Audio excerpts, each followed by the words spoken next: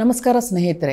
ಹತ್ತು ವರ್ಷಗಳಿಂದ ಅಬಾಧಿತವಾಗಿ ನಡೆದುಕೊಂಡು ಬಂದ ಮೋದಿಯವರ ಏಕಚಕ್ರಾಧಿಪತ್ಯದ ಬೇರುಗಳು ಅಲುಗಾಡಲು ಶುರುವಾಗಿವೆ. ಒಂದು ತಿಂಗಳ ಕಾಲ ಏಳು ಸುತ್ತಿನಲ್ಲಿ ನಡೆದ ಚುನಾವಣೆಯ ಫಲಿತಾಂಶ ಜೂನ್ ನಾಲ್ಕರಂದು ಪ್ರಕಟವಾಗುತ್ತಲೇ ಚಾರ್ ಸೌ ಪಾರ್ ಬಣ್ಣ ಬಯಲಾಗಿತ್ತು. ಜೂನ್ ಒಂದರಂದು ಕೊನೆಯ ಹಂತದ ಮತದಾನ ಮುಗಿಯುತ್ತಿದ್ದಂತೆ ಚಾರ್ ಸೌ ಪಾರ್ ಎಕ್ಸಿಟ್ ಪೋಲ್ ಭರಾಟೆ ಜೋರಾಗಿಯೇ ಸದ್ದು ಮಾಡಿತ್ತು.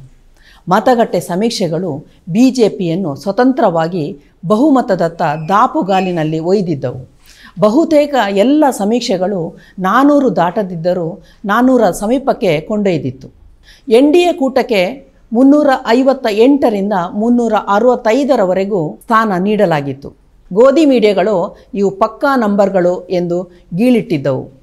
ರಾಹುಲ್ ಗಾಂಧಿಯವರು ಇದು ಎಕ್ಸಿಟ್ ಪೋಲ್ ಅಲ್ಲ, ಮೋದಿ ಪೋಲ್ ಎಂದು ಟೀಕಿಸಿದ್ದರು. ಎನ್ ಡಿ ಎ ಮೈತ್ರಿಕೂಟ ಈ ಚುನಾವಣೋತ್ತರ ಸಮೀಕ್ಷೆಯನ್ನು ಕಡ್ಡಿ ಮುರಿದಂತೆ ತಿರಸ್ಕರಿಸಿದ್ದವು. ಮತ ಎಣಿಕೆಗೆ ಮುನ್ನ ದಿನವೂ ಎಐಸಿಸಿ ಅಧ್ಯಕ್ಷ ಮಲ್ಲಿಕಾರ್ಜುನ ಖರ್ಗೆ ಮತ್ತು ಕಾಂಗ್ರೆಸ್ ನಾಯಕಿ ಸೋನಿಯಾ ಗಾಂಧಿ ಸಹಿತ ಎಲ್ಲ ನಾಯಕರು ಎಕ್ಸಿಟ್ ಪೋಲ್ ಸುಳ್ಳಾಗಲಿವೆ ಎಂದೇ ಭವಿಷ್ಯ ನುಡಿದಿದ್ದರು. ವಿರೋಧ ಪಕ್ಷಗಳ ನಾಯಕರ ಭವಿಷ್ಯ ನಿಜವಾಗಿದೆ. ಮೋದಿ ನೇತೃತ್ವದ ಬಿಜೆಪಿ ಸ್ಪಷ್ಟ ಬಹುಮತ ಪಡೆಯುವಲ್ಲಿ ವಿಫಲವಾಗಿದೆ. ನಾನ್ನೂರಕ್ಕೂ ಮೀರಿ ಸ್ಥಾನ ಪಡೆಯುವ ಘೋಷಣೆ ಹೇಳುವುದಕ್ಕೂ ಕೇಳುವುದಕ್ಕೂ ಸೊಗಸಾಗಿತ್ತು. ವಾಸ್ತವದಲ್ಲಿ ಮಿತ್ರ ಪಕ್ಷಗಳ ಸ್ಥಾನಗಳನ್ನು ಕೂಡಿಸಿದರೂ ನಾನೂರು ಬಹಳ ದೂರವೇ ಉಳಿದುಬಿಟ್ಟಿತ್ತು ಸ್ನೇಹಿತರೆ, ಈಗ ನಮ್ಮ ವಿಶ್ವಗುರು ಮೋದಿಯವರ ಮತಗಣಿತದ ಮೌಲ್ಯಮಾಪನ ಮಾಡಬೇಕಲ್ವಾ? ದೇಶದ ಭದ್ರತೆಗಾಗಿ, ಭಾರತದ ರಕ್ಷಣೆಗಾಗಿ, ಹಿಂದೂಗಳ ರಕ್ಷಣೆಗಾಗಿ ಮೋದಿಜಿಗೆ ಮತ ಹಾಕಿ ಎಂದು ಬಿ ಜೆ ಪಿಯ ಅಭ್ಯರ್ಥಿಗಳು ಮೋದಿಯ ಹೆಸರಲ್ಲಿ ಮತ ಕೇಳಿದ್ರಲ್ವಾ? ಆ ಕಾರಣಕ್ಕೆ ಗೆಲ್ಲುತ್ತಾ ಬಂದವರ ಕತೆ ಏನಾಯಿತು? ಸ್ಮೃತಿ ಇರಾನಿ ಸೇರಿ ಮೋದಿ ಮಂತ್ರಿಮಂಡಲದ ಹತ್ತೊಂಬತ್ತು ಸಚಿವರು ಈ ಚುನಾವಣೆಯಲ್ಲಿ ಸೋತು ಮನೆಗೆ ಹೋಗಿದ್ದಾರೆ. ಮೋದಿ ಅಲೆಯಲ್ಲಿ ತೇಲಿ ದಡ ಸೇರುವ ಭ್ರಮೆ ಕಳಚಿದೆ.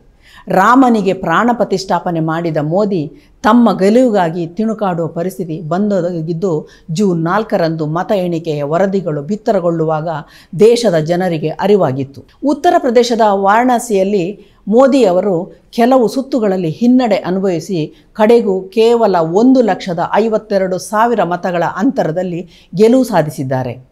ಹತ್ತು ವರ್ಷಗಳಿಂದ ಮೋದಿ ಗ್ಯಾಂಗಿನಿಂದ ಪಪ್ಪು ಪಪ್ಪು ಎಂದು ಗೇಲಿಗೆ ಒಳಗಾದ ರಾಹುಲ್ ಗಾಂಧಿ ರಾಯ್ಬರೇಲಿಯಲ್ಲಿ ಮೂರು ಲಕ್ಷದ ತೊಂಬತ್ತು ಸಾವಿರ ಮತಗಳು, ವಯನಾಡಿನಲ್ಲಿ ಮೂರು ಲಕ್ಷದ ಅರವತ್ನಾಲ್ಕು ಸಾವಿರ ಮತಗಳ ಅಂತರದಲ್ಲಿ ಗೆಲುವು ಸಾಧಿಸಿದ್ದಾರೆ. ಕ್ಷೇತ್ರವಾರು ನೋಡುವುದಾದರೆ ವಾರಣಾಸಿಯ ಒಟ್ಟಾರೆ ಮತದಲ್ಲಿ ಮೋದಿ ಶೇಕಡ ಐವತ್ತ ನಾಲ್ಕರಷ್ಟು ಮತ ಪಡೆದಿದ್ದಾರೆ.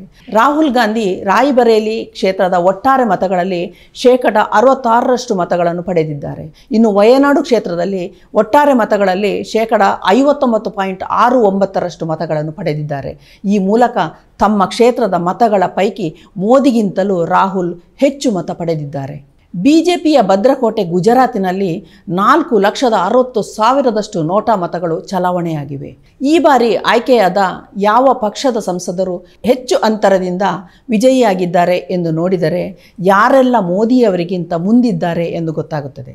ಬಿಜೆಪಿಯಲ್ಲೇ ಅದರಲ್ಲೂ ಉತ್ತರ ಪ್ರದೇಶದಲ್ಲೇ ಮೋದಿಗಿಂತ ಹೆಚ್ಚು ಮತ ಪಡೆದ ದೊಡ್ಡ ಬಳಗ ಇದೆ. ಉತ್ತರ ಪ್ರದೇಶದ ಗೌತಮ ಬುದ್ಧ ನಗರದ ಡಾಕ್ಟರ್ ಮಹೇಶ್ ಶರ್ಮಾ ಅವರ ವಿಜಯದ ಅಂತರ ಐದು ಲಕ್ಷದ ಐವತ್ತೊಂಬತ್ತು ಸಾವಿರ.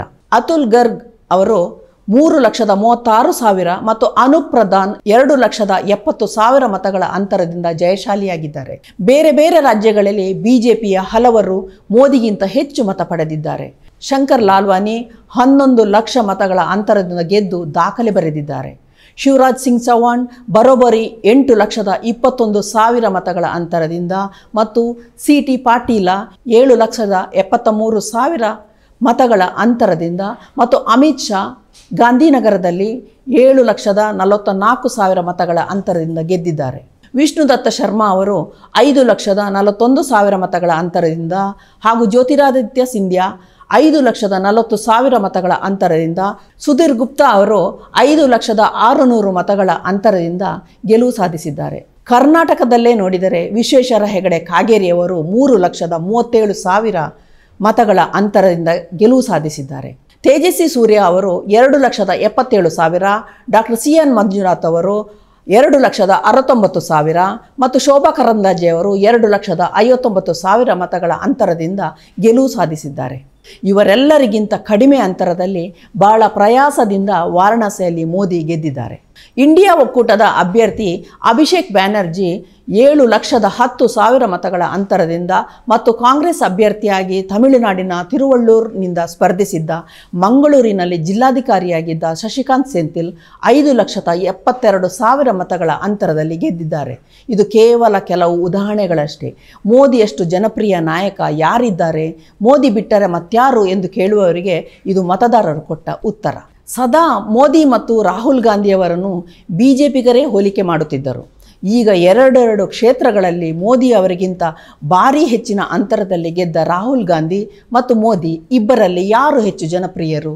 ಬಿ ಜೆ ಪಿಗರ ಪ್ರಕಾರ ವಿಶ್ವವೇ ಭಾರತದ ಕಡೆ ತಿರುಗಿ ನೋಡುವಂತೆ ಮಾಡಿದ ದೇಶದ ಮೊದಲ ಪ್ರಧಾನಿ ಮೋದಿ. ಹಾಗಿದ್ದರೆ ಅವರನ್ನು ವಾರಣಾಸಿ ಕ್ಷೇತ್ರದ ಜನ ಯಾಕೆ ತಿರಸ್ಕರಿಸಿದರು? ಬಿಜೆಪಿಯನ್ನು ನಾನೂರರ ಗಡಿ ದಾಟಿಸಿ ಎಂದು ಕೈ ಮುಗಿದು ಬೇಡಿಕೊಂಡರೂ ದೇಶದ ಜನ ಬಹುಮತಕ್ಕೆ ಬೇಕಿರುವ ಇನ್ನೂರ ಎಪ್ಪತ್ತೆರಡು ಸ್ಥಾನವನ್ನು ಬಿಜೆಪಿಗೆ ಕೊಟ್ಟಿಲ್ಲ. ಈಗ ಹದಿನಾರು ಸ್ಥಾನ ಗಳಿಸಿರುವ T D P Chandrababu Naidu, ಹನ್ನೆರಡು ಸ್ಥಾನ ಗಳಿಸಿರುವ ಜೆ ಡಿ ಯು ಪಕ್ಷದ ನಿತೀಶ್ ಕುಮಾರ್ ಮುಂದೆ ಕೈಕೆಟ್ಟಿ ನಿಲ್ಲುವ ಪರಿಸ್ಥಿತಿ ಮೋದಿಯವರಿಗೆ ಬಂದಿದೆ. ಈ ಚುನಾವಣೆಯಲ್ಲಿ ಪ್ರತಿಪಕ್ಷಗಳ ಕೈ ಕಾಲು ಕಟ್ಟಿ ಹಾಕದೆ ಸಮಾನ ಅವಕಾಶ ನೀಡಿದ್ದರೆ ಈ ಚುನಾವಣೆಯ ಫಲಿತಾಂಶಗಳು ಬೇರೆಯೇ ಆಗಿರುತ್ತಿದ್ದವು. ಎನ್ ಡಿ ಎ ಜಾಗದಲ್ಲಿ ಇಂಡಿಯಾ ಒಕ್ಕೂಟ ಇರಬಹುದಿತ್ತು. ಇಂಡಿಯಾ ಒಕ್ಕೂಟದ ಜಾಗಕ್ಕೆ ಎನ್ ಡಿ ಎ ಕುಸಿಯಬಹುದಿತ್ತು. ಇದಕ್ಕೆ ಹೇಳಿದ್ದು ಮೋದಿಯವರನ್ನು ವಾರಣಾಸಿಯ ಜನ ಜಸ್ಟ್ ಪಾಸ್ ಮಾಡಿದ್ದಾರೆ. ದೇಶದ ಜನ ಫೇಲ್ ಮಾಡಿದ್ದಾರೆ. ಇದನ್ನು ಅರಗಿಸಿಕೊಳ್ಳಲು ಬಿ ಜೆ ಪಿ ಭಕ್ತರು ಹೆಣಗಾಡುತ್ತಿದ್ದಾರೆ. ಸೋಷಿಯಲ್ ಮೀಡಿಯಾದಲ್ಲಿ ಶ್ರೀರಾಮಚಂದ್ರನಿಗೆ, ಸಮಸ್ತ ಹಿಂದೂಗಳಿಗೆ, ಅದರಲ್ಲೂ ಉತ್ತರ ಪ್ರದೇಶದ ಹಿಂದೂಗಳಿಗೆ ವಾಚಾಮಗೋಚರ ಬೈಯುತ್ತಿದ್ದಾರೆ ಒಂದು ವೇಳೆ ಚುನಾವಣಾ ಪೂರ್ವ ಮೈತ್ರಿ ಮಾಡಿಕೊಳ್ಳದೇ ಇದ್ದಲ್ಲಿ ಮೋದಿ ಪಡೆ ಇಂದು ಅಕ್ಷರಶಃ ಕೋಮಾ ಸ್ಥಿತಿಗೆ ಜಾರುತ್ತಿತ್ತೇನು. ಸೋಲಿನಿಂದ ಜಸ್ಟ್ ಮಿಸ್ ಆಗಿದ್ದಾರೆ ಮೋದಿ. ಒಂದು ವೇಳೆ ವಾರಣಾಸಿಯಿಂದ ಕಾಂಗ್ರೆಸ್ ನಾಯಕಿ ಪ್ರಿಯಾಂಕಾ ಗಾಂಧಿ ಸ್ಪರ್ಧಿಸಿದ್ದರೆ ಖಂಡಿತ ಮೋದಿಯವರಿಗೆ ಸೋಲಿನ ರುಚಿ ಉಣಿಸುತ್ತಿದ್ದರು. ಮೋದಿ ಅವರಿಗಿದ್ದ ಆಡಳಿತ ವಿರೋಧಿ ಅಲೆ ಬಿ ಜೆ ಪಿಯ ಭದ್ರಕೋಟೆ, ಯೋಗಿ ಆದಿತ್ಯನಾಥ ಎಂಬ ಬುಲ್ಡೋಜರ್ ಬಾಬನ ನೆಲದಲ್ಲಿಯೇ ಸ್ಪಷ್ಟವಾಗಿ ಗೋಚರಿಸಿದೆ. ಕೊರೋನಾ ಕಾಲ ಮುಗಿಯುತ್ತಿದ್ದಂತೆ ಎರಡು ಸಾವಿರದ ಇಪ್ಪತ್ತೆರಡರಲ್ಲಿ ನಡೆದ ಉತ್ತರ ಪ್ರದೇಶದ ವಿಧಾನಸಭಾ ಚುನಾವಣೆಯಲ್ಲಿಯೇ ಬಿ ಜೆ ಹೀನಾಯವಾಗಿ ಸೋಲುತ್ತದೆ ಎಂದು ಊಹಿಸಲಾಗಿತ್ತು. ಕೊರೋನಾ ಮಹಾಮಾರಿಯನ್ನು ಹತೋಟಿಗೆ ತರುವಲ್ಲಿ ಉತ್ತರ ಪ್ರದೇಶದ ಯೋಗಿ ಸರ್ಕಾರ ಸಂಪೂರ್ಣವಾಗಿ ವಿಫಲವಾಗಿತ್ತು. ಇದಕ್ಕೆ ಗಂಗಾ ತಟದಲ್ಲಿ ಅರೆಬರೆ ಹೂತಿದ್ದ ಶವಗಳೇ ಪುರಾವೆ ಒದಗಿಸಿದ್ದವು. ಹೀಗಿದ್ದರೂ ಯೋಗಿ ಸರ್ಕಾರವನ್ನು ಮತ್ತೆ ಜನ ಅಧಿಕಾರಕ್ಕೆ ತಂದಿದ್ದರು. ಉತ್ತರ ಪ್ರದೇಶದಲ್ಲಿ ಬಿಜೆಪಿಗೆ ತೀವ್ರ ಪೈಪೋಟಿ ನೀಡುವ ಕಾಂಗ್ರೆಸ್ನ ಯತ್ನ ವಿಫಲವಾಗಿತ್ತು. ಕಾಂಗ್ರೆಸ್ ಮುಖಂಡರಾದ ರಾಹುಲ್ ಗಾಂಧಿ ಮತ್ತು ಪ್ರಿಯಾಂಕಾ ಗಾಂಧಿ ಮಾಡಿದ ಪ್ರಚಾರ ಸಭೆಗಳಿಗೆ, ರ್ಯಾಲಿಗಳಿಗೆ ಸಾಗರೋಪಾದಿಯಲ್ಲಿ ಜನ ಸೇರುತ್ತಿದ್ದರಾದರೂ ಕಾಂಗ್ರೆಸ್ಗೆ ಮತ ಹಾಕಿರಲಿಲ್ಲ. ಗುಜರಾತ್ ಚುನಾವಣೆಯಲ್ಲೂ ಮೋದಿ ಮ್ಯಾಜಿಕ್ ವರ್ಕೌಟ್ ಆಗಿತ್ತು. ಆ ನಂತರ ಕಳೆದ ವರ್ಷ ನಡೆದ ಪಂಚರಾಜ್ಯ ಚುನಾವಣೆಗಳಲ್ಲೂ ಮೂರರಲ್ಲಿ ಬಿ ಜೆ ಪಿ ದಿಗ್ವಿಜಯ ಸಾಧಿಸಿತ್ತು. ಕಾಂಗ್ರೆಸ್ ತೆಲಂಗಾಣದಲ್ಲಿ ಮಾತ್ರ ಜಯ ಸಾಧಿಸಿತ್ತು. ಆದರೆ ಒಂದೇ ಒಂದು ವರ್ಷದಲ್ಲಿ ದೇಶದ ಜನರ ಮೂಡ್ ಬದಲಾಗಿದೆ. ಇನ್ನೂ ಎಚ್ಚೆತ್ತುಕೊಳ್ಳದಿದ್ದರೆ ಬದುಕು ದುರ್ಬರವಾಗಲಿದೆ ಎಂಬ ಅರಿವಾಗಿದೆ. ಅದರ ಫಲಿತವೇ ಈ ಜನಾದೇಶ. ಹತ್ತು ವರ್ಷಗಳಿಂದ ದೇಶದ ಪ್ರಧಾನಿಯಾಗಿದ್ದ ಮೋದಿ ಹಿಂದಿನ ಎಲ್ಲ ಚುನಾವಣೆಗಳಲ್ಲಿ ನಾಲ್ಕೈದು ಲಕ್ಷ ಮತಗಳ ಅಂತರದಿಂದ ಜಯಗಳಿಸಿದವರು. ವರ್ಷದ ಆರಂಭದಲ್ಲಿ ರಾಮಲಲ್ಲನಿಗೆ ಪ್ರಾಣ ಪ್ರತಿಷ್ಠೆ ನೆರವೇರಿಸಿ ಐನೂರು ವರ್ಷಗಳ ಹಿಂದೂ ಸಮಾಜದ ಆಸೆಯನ್ನು ಈಡೇರಿಸಿದ, ಟೆಂಟ್ನಲ್ಲಿದ್ದ ರಾಮನಿಗೆ ಭವ್ಯ ಮಂದಿರ ಕಟ್ಟಿಸಿಕೊಟ್ಟ ಮಹಾನ್ ರಾಮಭಕ್ತ ಮೋದಿಗೆ ತಮ್ಮ ಕ್ಷೇತ್ರದ ಜನ ಅದರಲ್ಲೂ ಹಿಂದೂಗಳೇ ಮತ ಹಾಕಿಲ್ಲ. ಮೂರು ಬಾರಿ ಗುಜರಾತಿನ ಚುನಾವಣೆ, ಮೂರು ಬಾರಿ ಲೋಕಸಭಾ ಚುನಾವಣೆ ಎದುರಿಸಿದ ಮೋದಿ ಅವರ ಹೆಸರಿನ ಮುಂದೆ ಹಿನ್ನಡೆ ಎಂಬ ಪದ ಬಳಸಬೇಕಾದ ಸ್ಥಿತಿ ರಾಮ ಮಂದಿರ ಉದ್ಘಾಟನೆಯಾದ ಕೆಲವೇ ತಿಂಗಳಲ್ಲಿ ನಡೆದ ಚುನಾವಣೆಯಲ್ಲಿ ಬಂದೊದಗಿತ್ತು. ಇದು ಮೋದಿ ಅವರ ಅಲೆ, ಮೋದಿ ಪ್ರಭಾವಳಿ, ಮೋದಿ ಮೋಡಿ ಇಳಿದಿರುವುದರ ಸೂಚನೆ. ಕ್ರಮೇಣವಾಗಿ ದೇಶದ ಜನ ಮಂಕು ಬೂದಿಯಿಂದ ಮೈ ಕೊಡವಿ ಮೇಲೆಳುತ್ತಿರುವ ಲಕ್ಷಣವಿದು. ಈಗ ಮಿತ್ರ ಪಕ್ಷಗಳ ಜೊತೆ ಹೊಂದಾಣಿಕೆ ಮಾಡಿಕೊಂಡು ತಂತಿ ಮೇಲೆ ನಡೆದಷ್ಟೇ ನಾಜೂಕಾಗಿ ಸರ್ಕಾರ ನಡೆಸಬೇಕಾದ ಅನಿವಾರ್ಯತೆ ಮೋದಿಯವರಿಗೆ ಬಂದಿದೆ. ಮೂರನೇ ಬಾರಿ ಮೋದಿ ಪ್ರಧಾನಿಯಾದರೂ ಅದು ಮೋದಿ ಸರ್ಕಾರ ಎನಿಸದು. ಎನ್ ಡಿ ಎ ಸರ್ಕಾರ, ಸಮ್ಮಿಶ್ರ ಸರ್ಕಾರ ಅಷ್ಟೇ.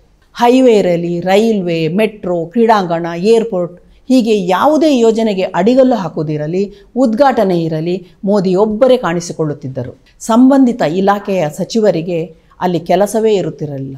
ಇದ್ದರೂ ಅವರು ಫೋಟೋಗಳಲ್ಲಿ ಕಾಣಿಸಿಕೊಳ್ಳುತ್ತಿರಲಿಲ್ಲ. ಇನ್ನು ಮುಂದೆ ಆನೆ ನಡೆದದ್ದೇ ದಾರಿ ಎಂದು ಹೋದರೆ ನಮ್ಮ ದಾರಿ ನಮಗೆ ಎಂದು ಮಿತ್ರ ಪಕ್ಷಗಳು ಹೊರ ನಡೆಯುವ ಅಪಾಯವಿದೆ. ನಿಜವಾದ ಆಟ ಇನ್ನು ಶುರುವಾಗಲಿದೆ. ಮತ್ತಷ್ಟು ವಿಶೇಷ ವಿಡಿಯೋಗಳನ್ನು ನೋಡಲು ಮತ್ತು ಹೊಸ ವಿಡಿಯೋಗಳ ಬಗ್ಗೆ ತಿಳಿಯಲು ಈ ದಿನ dot com YouTube channel subscribe ಮಾಡಿ ಮತ್ತು ಬೆಲ್ ಐಕಾನ್ ಕ್ಲಿಕ್ ಮಾಡಿ.